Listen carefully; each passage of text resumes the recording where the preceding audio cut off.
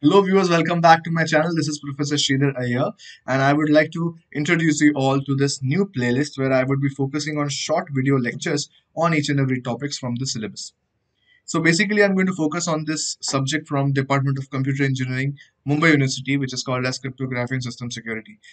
You will get the same topics in the subject cryptography and network security from the Department of Information Technology. So this particular video playlist will be helpful for both the subjects. So what I'm going to do is uh, I am going to break each and every topic of the syllabus into short videos where I would be focusing on each and every aspect of those individual topics. So uh, these videos are going to be short as compared to my complete lecture video series where I constantly upload all my online live lectures on my playlist. If you if you want to know the details of those playlists, you can kindly check the link on top. So without wasting much time, let's get started with our very first uh, topic which is security goals. And these uh, videos are going to be both in Hindi as well as English. In between I would be using uh, Hindi as well so as just to make the understanding better. So let's see what exactly uh, we mean with this particular term that is what we call as goals of security. So goals of security are nothing but uh, the objectives of any security system in short, there are three goals of security, which is what we call as CINA. This is nothing but stands for confidentiality, integrity, and availability. So our very first goal is what is confidentiality? So basically, if you're sending some data from one place to the other place, you have to make sure that the data is not being seen by any other person except those who are intended to see it. For example आप कोई data एक जगह से दूसरी जगह पे भेज रहे हो तो आपको ये मेक श्योर sure करना पड़ेगा कि वो डेटा आप दोनों के अलावा मतलब सेंडर और रिसीवर के अलावा कोई और ना पढ़ सके। This is what we call as confidentiality so that is what is defined over here as you can see in this diagram this diagram, clearly it is evident that there is a subject, there is a mode of access, and there is an object. As you can see, we need to have certain policies. कुछ हमें ऐसे policies set करने पड़ेंगे using which we can make sure that who has got access to what data and how he or she can access that data. It simply means uh, you have to make a policy using which you can dictate the terms that this particular user can access this particular data using either read, write or execute mode.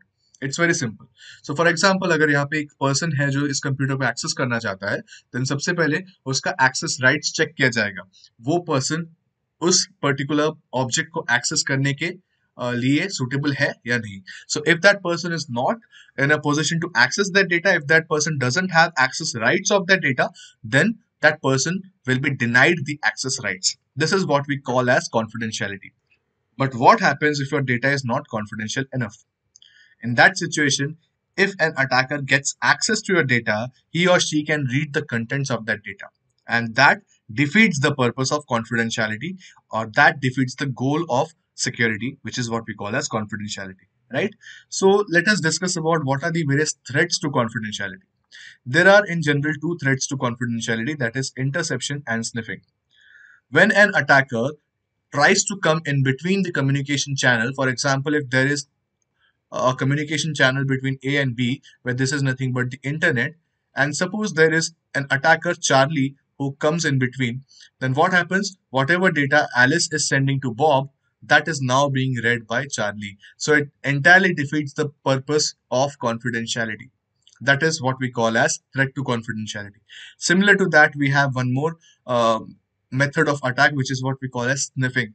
So if Charlie comes in between the communication silently without revealing himself or herself, but पूरे के पूरे communication को वो read कर रहा है, then what happens? Alice and Bob will not come to know of the presence of Charlie and Charlie will still be sniffing all the data from the communication medium. That is what we call as sniffing or in short traffic sniffing. That is what we call as confidentiality. Next up, we are having integrity. Now, what is integrity? For example, Alice sends 500 rupees to Bob, but somehow when Bob receives the message, it is interpreted as 50 rupees. So what happens? Originally, Alice had sent 500 rupees to Bob, but during the communication, some attacker Charlie came in, in between the communication and changed 500 rupees to 50 rupees and kept the rest of the 450 rupees with himself. So what happens? This is basically what we call as threat to integrity. That is either fabrication or modification. So so, इसका simple meaning ये है कि if, uh, अगर आप एक data भेज रहे हो एक प्लेस से दूसरे प्लेस तक that data should go as it is without any changes so basically जो डेटा आप एक पॉइंट से भेज रहे हो सेम टू सेम वही डेटा एंड पॉइंट तक पहुंचना चाहिए if any changes happen in between it is simply an attack to uh, attack to integrity or threat to integrity how to ensure that your data is still integral how to make sure that your data has not been tampered or changed we simply make use of hashing as a technique, as one of the techniques. Just understand that we can make make use of either MD5, SHA, Tiger hash, or any other hash algorithm. If the hash values at the source and at the destination are different, then we can simply make a uh, make a conclusion that the data has been tampered. It's as simple as that. So let's continue with our next topic, that is availability.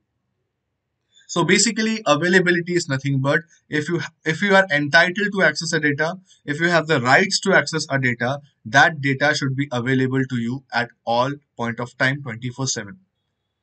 Because otherwise, uh, for example, if you're communicating, if you are having an online transaction through a bank, and in between the communication, you get a message that you can't access this site.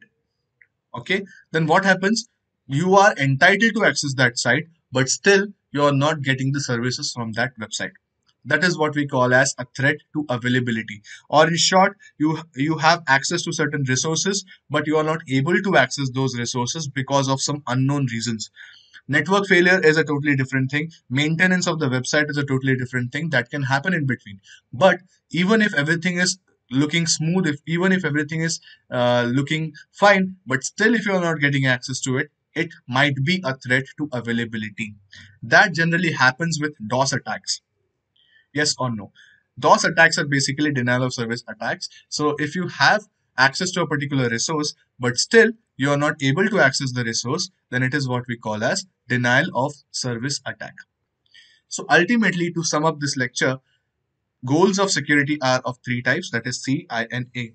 That is confidentiality, integrity and availability and this particular portion you see over here this is what we call as an optimum security model so यहाँ पे जो तीनों का combination होगा that is nothing but what we aim for so as a software developer as a web application developer from the security point of view we would like to make sure that our application is satisfying all the three goals of security that is confidentiality integrity and availability i hope this lecture was uh, useful enough. So stay tuned for the upcoming topics in this subject that is cryptography and system security.